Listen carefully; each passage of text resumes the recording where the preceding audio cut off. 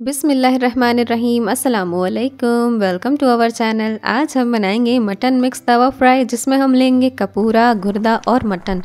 ये mix nonveg recipe है, जो कि बहुत ही मज़ेदार, चटकारीदार और लजीज होती है। आप इसे बनाएँगे तो हाथ नहीं रोक पाएँगे। ये आपके घर के बच्चों के लिए बहुत ही टेस्टी और ख़ास रेसिपी है। मुँह में रखते ही घुल जाने वाली रेसिपी होती है। आप इसे एक बार बनाएँगे तो बार बार आपका इसे बनाने का मन होगा। तो बहुत ही इजी एंड क्विक रेसिपी होती है ये मटन की।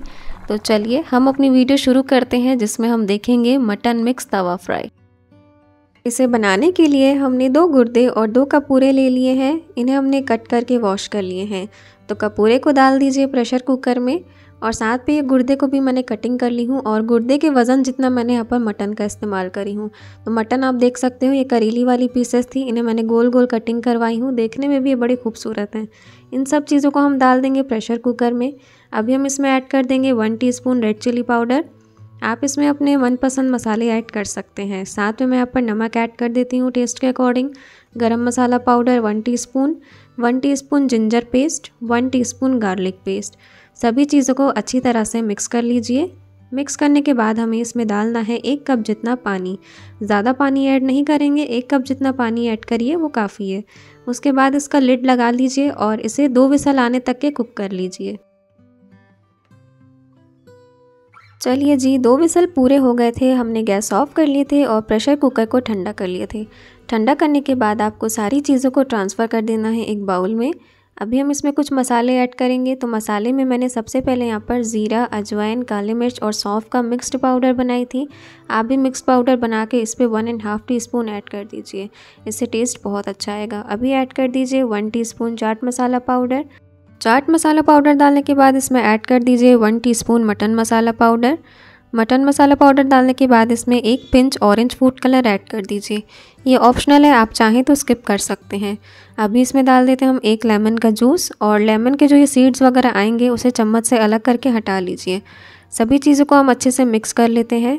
जैसे कि मैंने यहाँ पर करेले की पीसेस का इस्तेमाल करी हूँ, ज़रूरी नहीं कि आपको भी करेले की पीसेस इस्तेमाल करना है। आप इसमें मटन की किसी भी तरह की पीस का इस्तेमाल कर सकते हैं, उससे भी टेस्ट इसका बहुत अच्छा आएगा। तो सारी चीज़ों को मिक्स करने के बाद हमें गैस पर एक पैन रख देना है और पैन में हमने डाल दिए हैं बटर की स्लाइस बटर को अच्छे से हम मेल्ट होने देते हैं। जब बटर मेल्ट होने लगेगा, तब हम आगे का प्रोसेस देखेंगे। आप बटर की जगह घी या ऑयल का भी इस्तेमाल कर सकते हैं। अभी बटर अच्छे से मेल्ट हो रहा है, तब हम इसमें सारा तैयार किया हुआ मटन डाल देते हैं। गैस की फ्लेम को हाई पर रखना है और इसे अच्छे से कुक कर लेना है। तो सारी चीज़ों को हम अच्छे से मिक्स कर लेते हैं और फुल फ्लेम पे हम इसे कुक करते रहेंगे। पानी सूखने तक के हम इसे अच्छे से भूनेंगे। जितने अच्छे से भूनेंगे, उतना ही अच्छा इस पर टेस्ट आएगा। आप देख सकते हो, बटर भी कितना अच्छे से इसमें मिक्स हो रहा है और थोड़ी देर में इसमें बहुत ही अच्छा उबाल आना शुरू हो जाएगा। ये जो मटन की रेसिपी हम आपको बता रहे हैं, हमारे घर में मटन की खास रेसिपीज़ में से ये एक है। जब भी बकर ईद आती है तो हमारे घर वाले ख्वाहिश करते हैं इस रेसिपी को बनाने के लिए। ज़रूरी नहीं कि आप भी इसे बकरीद में ही बनाएँगे।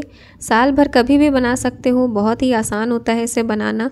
सिर्फ़ इन्हें प्रेशर कुकर में डाल के आपको कुक करना रहता है और सारा इसे भून के पानी सुखाना रहता है। बड़ी आसान रेसिपी होती है और बहुत ही ज़्यादा क्विक एंड ईजी रेसिपी होती है। काफ़ी ज़्यादा टेस्टी और स्पाइसी होती है ये। तो आप देख सकते हो कितना तेज़ इसमें बॉईल आ रहा है। इसी तरीके से आपको भी करना है, आप इसे ग्रेवी वाला भी बना सकते हो, सूखा भुना भी बना सकते हो। तो मैं तो इसे सूखा भुना बनाऊँगी। अगर आप ग्रेवी वाला बनाना चाहते हो तो ग्रेवी करने के लिए आप इसे भूनने के बाद थोड़ा सा पानी ऐड कर लीजिए, या इतना पानी ऐड करिए जितना आपको ग्रेवी करना है। उसके बाद इसे पाँच मिनट के लिए लो फ्लेम पे कुक कर लेना और ग्रेवी व गुर्दा का पूरा बनकर तैयार हो जाएगा। आप देख सकते हो बहुत सारा इसका जो पानी है वो सूखते जा रहा है। लगभग लगभग इसका जो पानी है वो सूख गया है। आप देख सकते हो स्क्रीन पर। अब मैं क्या करूँगी? गैस की फ्लेम को बिल्कुल लो पे कर देती हूँ और इसे कवर करके रख देती हूँ। दो मिनट के बाद हम इसे चेक कर लेंगे। चलिए जी, दो मिनट पूरे हो चुके हैं। अभी हम ढक्कन हटा लिए हैं और आप देख सकते हो, ये नीचे बिल्कुल भी स्टिक नहीं हो रहा है। बहुत ही अच्छी तरीके से कुक हो रहा है। गैस की फ्लेम को दोबारा हाई पे कर लीजिए और आप देख सकते हो गुर्दे का पूरे जो थे बहुत ही अच्छी तरीके से गल गए हैं और मटन जो था वो भी अच्छी तरीके से गल गया है और बहुत ही अच्छा ये सॉफ्ट सॉफ्ट सा हो गया है। बढ़िया सी, भीनी भीनी सी इसमें खुशबू आ रही है और बहुत ही शानदार और लजीज ये बन के तैयार हुआ है। स्टार्टिंग में आपने देखा होगा, जब हमने पैन में मटन डाले थे, तब पैन पूरा भरा हुआ था क्योंकि मटन में काफ़ी ज़्यादा पानी था। अभी पानी पूरी तरीके से सूख गया है और बहुत ही अच्छी तरीके से ये भून के तैयार हुआ है। सारा जो इसमें ऑयल था वो ऊपर आने लग गया है। अभी हम इसे सर्व कर लेते हैं। अभी मैंने गैस की फ्लेम को ऑफ़ कर दी हूँ और आप इसका टेक्सचर देख सकते हो कितना टेस्टी ये दिख रहा है और बहुत ही बढ़िया सा भून के ये तैयार हुआ है।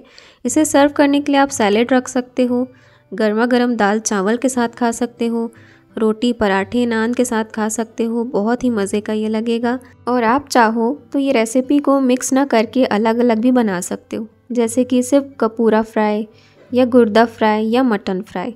तो इसे मैंने निकाल लिया है एक ट्रे में। इसके ऊपर से आप चाट मसाला स्प्रिंकल कर सकते हो, लेमन जूस डाल सकते हो, या धनिया पुदीना के पत्ते स्प्रिंकल करके भी खा सकते हो, बहुत ही अच्छे ये लगने वाले हैं। तो आपको ये वीडियो कैसी लगी मुझे कमेंट करके ज़रूर बताइएगा। हमें सुपर थैंक्स देकर सपोर्ट करिए। कमेंट करके बताइए आपका एक्सपीरियंस। आप लोग कमेंट करके हमसे बातें करते हैं तो हमें बहुत खुशी होती है। वीडियो को लाइक कर दीजिए, शेयर कर दीजिए और चैनल को सब्सक्राइब कर दीजिए। तो मिलते हैं हम अपनी अगली वीडियो में, तब तक लिए अल्लाह हाफिज़। बाय बाय, दुआओं में याद रखना।